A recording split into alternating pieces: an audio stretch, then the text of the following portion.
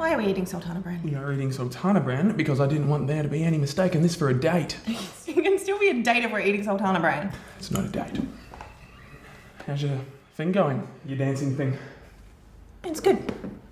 How's your restraining order? I wouldn't actually call the restraining order my thing, but getting back together with Nikki is. I just wish I could get a letter to her, just to let her know that I'm not completely out of control. I could get a letter to Nikki. I see her sometimes with my sister. That would be so amazing. I'd have to hide it from Veronica though. She is not into breaking the law, which this letter would definitely be doing, and I am already on thin ice with my family. Like you should hear how I lost my job. How'd you lose your job? By having sex with everybody in the office. Everybody. I was very depressed after Tommy died. It was a lot of people. We don't have to talk about that. Thanks. Any women? But then people were getting into fights in the car park at work and in the bathroom, and the boss tried to pin it all on me. So I accused him of harassment. They just fired me, sent me home, and put me on some meds. I get it. You know, the song that was playing when I found my wife in the shower with the history teacher? It's our wedding song. Every time I hear it now, it makes me go kind of crazy. Wow. Yeah, so they put me on medication, which I feel ashamed of.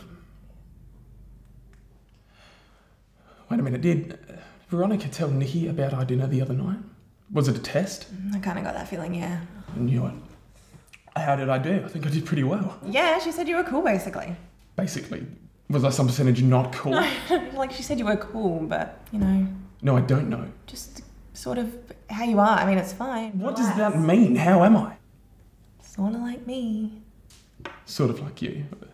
I hope to God she did not tell Nikki that. Why? Because it's not right lumping you and I together. It's wrong. Nikki wouldn't like that, especially after the shit that you just told me. You think I'm crazier than you? I mean, come on, we're different. Oh my god. Uh, you know what?